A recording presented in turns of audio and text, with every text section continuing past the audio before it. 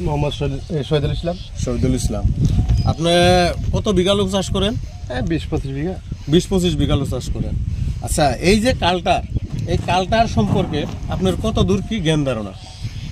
কালটার আগে আমি জানতাম না। আচ্ছা। এবার আমি ফার্স্ট প্রথম দশ বিঘা মান মারছি কালটা। হ্যাঁ কালটার মারার পরিবর্তে এই মালের সাইজটা এরকম হয়েছে।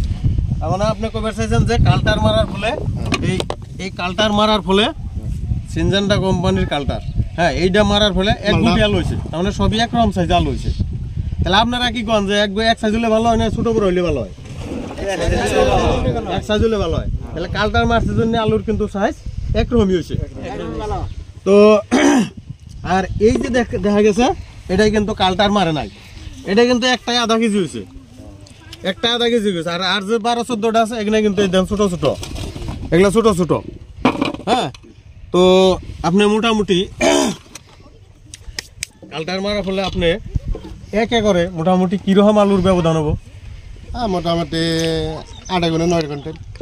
তাতে এক একরে আট নয় কুইন্টাল আলুর ব্যবধান হব। ব্যবধান হব, আমার মনের এটা ভাব আছে আর কি আলোর সাইজ দেখে।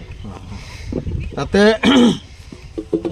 কালটার এমনই একটা বস্তু হ্যাঁ।